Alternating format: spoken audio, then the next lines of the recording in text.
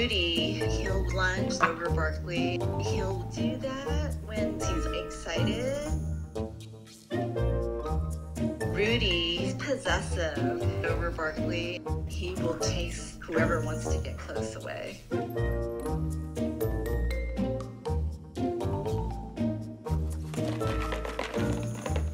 They watch TV together.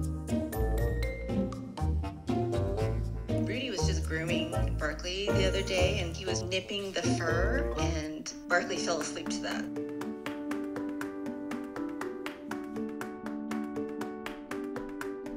They lived in the same household for three years before they even started hanging out together.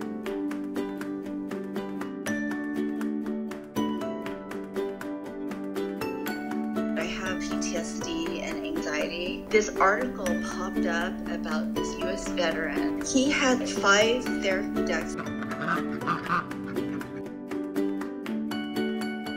I really do believe that pets could lower your anxiety level and make people happier. Barclay was almost scared. He never bothered the ducks. He always looked at them from far away. One day he walked into the coop, and really, I don't think he was interested in the ducks so much as their food. Rudy would chase Barclay, and Barclay would run away. He's 100 pounds, and Rudy's probably six. And then eventually he didn't run. He kind of sat down, and Rudy was all over him.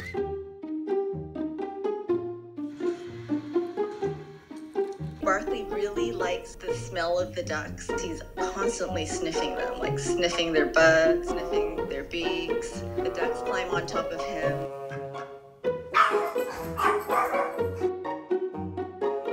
In the morning, he always comes into the coop with me and just sort of greets them. Barclay just loves to drink the bathwater. I usually put them in this playpen until they poop. Barclay will actually wait until Rudy and the ducks are released.